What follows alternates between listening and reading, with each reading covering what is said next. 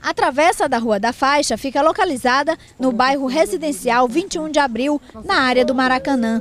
A coleta de lixo na área é regular, mas não alcança todas as ruas. E o lixo vai sendo despejado nos terrenos, embaixo da rede de alta tensão da Eletronorte.